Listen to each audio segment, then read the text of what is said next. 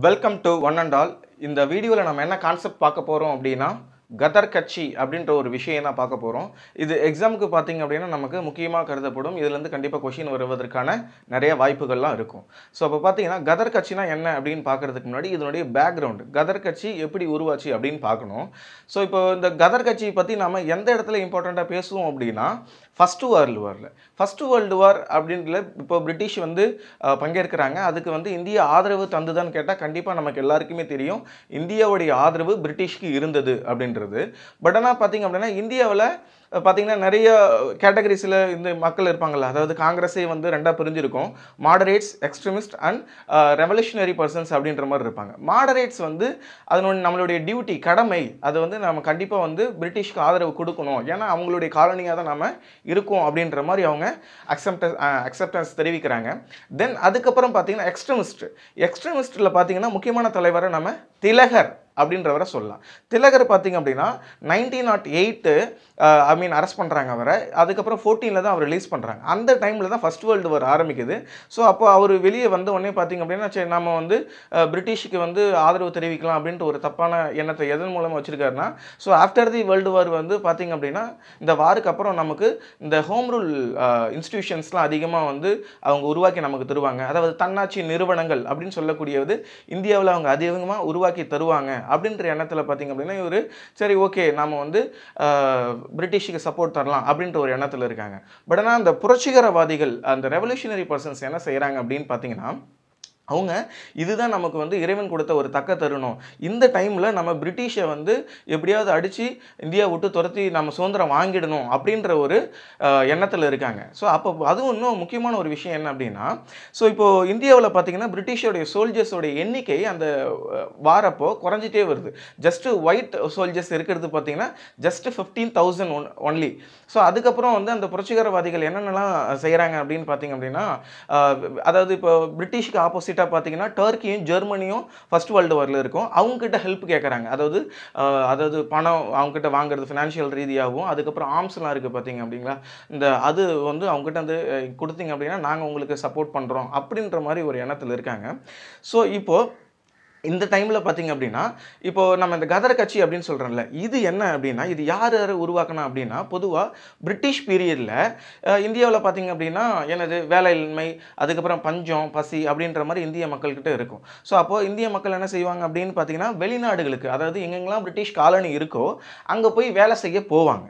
So அப்போது வேலை செய்ய போக்குள்ள பார்த்திங்க அப்படின்னா அவங்களுடைய அடுக்குமுறைகளை எதிர்த்து ஒவ்வொரு இயக்கம் புரட்சிகர இயக்கம் அப்படின்றது வெளிநாட்டில் இந்தியர்களால் உருவாக்கப்பட்ட இயக்கங்கள் அதில் ஒன்று இருக்கும். ஃபார் எக்ஸாம்பிள் என்னென்னா இப்போ ஃபார் எக்ஸ் மியான்மர் மலேசியா அதுக்கப்புறம் ஜப்பான் சொல்லலாம். ஸோ அதுக்கப்புறம் Canada Austra Australia America. So எங்கெங்கெல்லாம் பிரிட்டிஷோடைய காலனி இருக்கோ அங்கே எல்லாமே அவங்கள எதிர்த்து ஒரு ஒரு இயக்கங்கள். ஸோ இப்போது இந்த கதர் கட்சி அப்படின்றது எங்கே உருவாக்கப்பட்டது அப்படின்னா நார்த் அமெரிக்காவில். ஓகேவா? ஸோ அப்போது நார்த் அமெரிக்காவில் உருவாக்கப்பட்ட இந்த கதர் கட்சி இதுக்கு அதாவது இந்த கதர் கட்சி ஃபஸ்ட்டு வந்து இனிஷியல் ஸ்டேஜஸில் அதாவது ஆயிரத்தி தொள்ளாயிரத்தி பதினொன்றில் தான் பார்த்தீங்க அப்படின்னா நம்ம வந்து ஜிடி குமார் அதுக்கப்புறம் பார்த்திங்கன்னா லாலா ஹர்தயால் சோகன் சிங் பக்னா அதுக்கப்புறம் பார்த்தீங்க அப்படின்னா நம்ம தரக்நாத் தாஸ் இவங்க எல்லாருமே வந்து அந்த ஒரு புரட்சிகர இயக்கத்தை உருவாக்குறாங்க. அது ஃபஸ்ட்டு என்ன அப்படின்னு அழைக்கப்பட்டது அப்படின்னு பார்த்தீங்கன்னா இவங்க ஸ்வதேஷ் ஸ்வதேஷ் சேவக் ஹோம் அப்படின்ட்டு ஆயிரத்தி தொள்ளாயிரத்தி பதினொன்றில் பேன்கோவரில் ஆரம்பிக்கிறாங்க. பேன்கோவர் இது எங்கே இருக்குது அப்படின்னு பார்த்தீங்க அப்படின்னா கனடா ஸோ அதுக்கப்புறம் யுனைடெட் இந்தியா ஹவுஸ்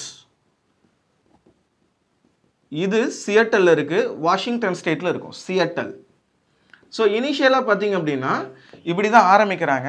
ஸோ இப்போ ஆரம்பிச்சதுக்கப்புறம் ஆயிரத்தி தொள்ளாயிரத்தி பதிமூணில் தான் பார்த்தீங்க அப்படின்னா இந்த கதர் கட்சி அப்படின்னு ஒன்று உருவாகுது.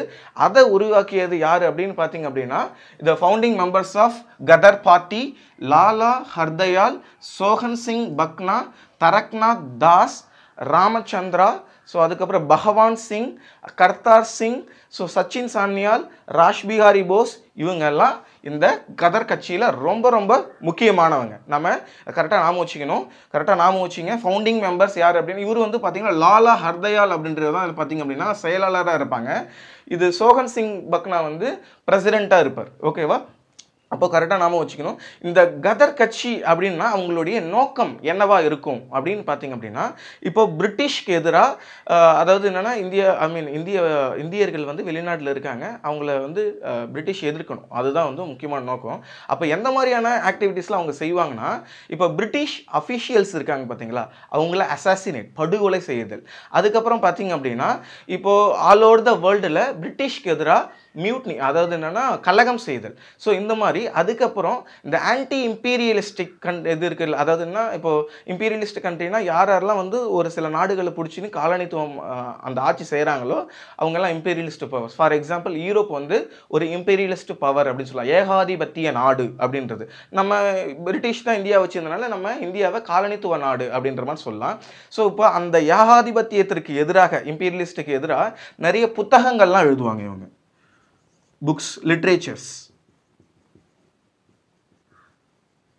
ஓகேவா ஸோ இந்த மாதிரி எழுதி அதாவது அவங்களுடைய எதிர்ப்புகளை காமிக்கிறது. ஸோ ஓகேவா ஸோ இப்போ பார்த்தீங்க அப்படின்னா இந்த கதர் கட்சி அப்படின்றது இந்த கதர் இயக்கம் அப்படின்னு சொல்லலாம் கதர் மூமெண்ட்டில் தான் பார்த்தீங்க அப்படின்னா இந்த கதர் கட்சி அப்படின்னு ஒன்று சொல்லுவாங்க. ஸோ இப்போது இந்த கதர் கட்சியில் இருந்த மெம்பர்ஸ்லாம் யார் அப்படின்னா மோஸ்ட்லி பஞ்சாப் அந்த பஞ்சாபில் இருக்கக்கூடிய சீக்ஸு பஞ்சாப் முஸ்லீம்ஸ் இவங்க தான் பார்த்தீங்க அப்படின்னா இந்த கதர் கட்சியினுடைய மெம்பர்ஸாக இருப்பாங்க. இனிஷியலாக இந்த கதர் கட்சியினுடைய தலைமையிடம் எதுவாக இருக்கும் அப்படின்னு பார்த்தீங்கன்னா பஞ்சாப். ஸோ அதன் பிறகு தான் இதனுடைய தலைமையிடம் இந்த சான் ஃப்ரான்சிஸ்கோ ஓகேங்களா நார்த் அமெரிக்கா சான் ஃப்ரான்சிஸ்கோ இருக்குல்ல ஸோ அந்த இடத்துல பார்த்தீங்கன்னா அவங்களுடைய தலைமையிடம் இருக்கும். அது என்னென்னா எந்த இடம்னா பசிபிக் பிரதேச இந்துஸ்தான் அப்படின்ற மாதிரி சொல்லுவாங்க. ஓகேங்களா ஸோ இப்போ இந்த கதர் கட்சி இன்னும் முக்கியமான விஷயங்கள் எது இதெல்லாம் செஞ்சுருக்கோம் அப்படின்னா அவங்க வந்து ஒரு வீக்லி பேப்பர்ஸ் வந்து இன்ட்ரடியூஸ் பண்ணியிருப்பாங்க. ஃபஸ்ட்டு பார்த்தீங்க அப்படின்னா அவங்க எதில் பண்ணுவாங்கன்னா ஐ மீன் இங்கிலீஷ் தான். அதுக்கப்புறம் வந்து எந்தெந்த மொழியெல்லாம் பார்த்தீங்க அப்படின்னா அவங்க வெளியிட்டிருப்பாங்கன்னா உருது பஞ்சாப் பஞ்சாபி ஸோ அதுக்கப்புறம் ஹிந்தி. ஸோ இந்த மாதிரியான லாங்குவேஜில் எல்லாத்தையுமே அவங்க இந்த கதர் உடைய பத்திரிகையை வெளியிட்டிருப்பாங்க. அதுக்கப்புறம் இந்த கதர்னா என்ன மீனிங் அப்படின்னு பார்க்கணும். ஸோ உருதுல பார்த்திங்க அப்படின்னா கிளர்ச்சி. அது என்னென்னா இப்போ உரு உருது தான் இது வந்து கதர் அப்படின்னு சொல்லக்கூடியது ஸோ அதுக்கான மீனிங் என்ன அப்படின்னா கிளர்ச்சி ரெபல்லியன் அப்படின்னு சொல்லக்கூடியது. ஓகேங்களா ஸோ இப்போ பார்த்தீங்க அப்படின்னா இந்த கதர் கட்சியை சார்ந்தவங்க இவங்களுடைய அதாவது இவங்களுடைய எதிர்ப்பு எந்த விஷயங்கள் நம்மளால அதிகமாக உண்டாயிருக்கும் அப்படின்னு பார்த்தீங்கன்னா ரெண்டு விஷயம் நடக்கும். ஒன்று பார்த்தீங்க அப்படின்னா first world war first world war வந்தோடனே பிரிட்டிஷால வந்து அவங்க வந்து மற்ற காலனித்துவ நாடுலாம் ஐ மீன் சரியாக பார்க்க முடியாது. அந்த டைமில் இவங்களை அடித்து துரத்திடலாம் இந்தியா விட்டு அப்படின்னு ஒன்று நினைப்பாங்க.